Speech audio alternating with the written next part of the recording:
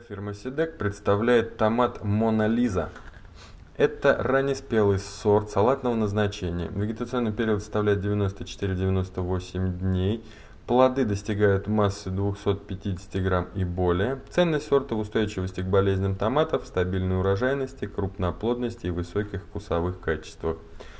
Номер партии 7104, количество семян упаковки 0,2 грамма.